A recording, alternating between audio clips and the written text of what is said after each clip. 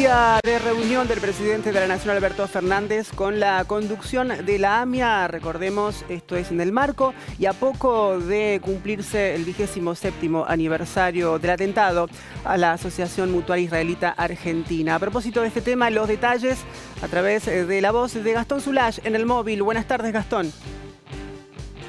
¿Qué tal? Si se pueden decir buenas tardes en la inclemencia del tiempo aquí en la Casa de Gobierno. Hace 40 minutos el presidente de la Nación, Alberto Fernández, está recibiendo, como bien decías Diana, a la cúpula de la AMIA. A pocos días de cumplirse este 18 de julio, en realidad el domingo, los 27 años del trágico atentado aquel 18 de julio de 1994 que causó 85 eh, muertos y más de 300 heridos. El presidente está acompañado en la reunión por el secretario de culto Guillermo Olivieri y participan el presidente de la Ariel Eichbaum, el secretario general Darío Curiel y el director ejecutivo Daniel Alejandro Pomerán, adelantándole los detalles del acto que va a ser nuevamente virtual en el marco de la pandemia el próximo viernes. Se adelantan 48 horas, exactamente a las 9.53, la hora del brutal atentado a la mutual eh, judía bajo el lema Conectados contra la impunidad, en el marco también de una serie de actividades que lleva adelante la AMIA en redes sociales desde la semana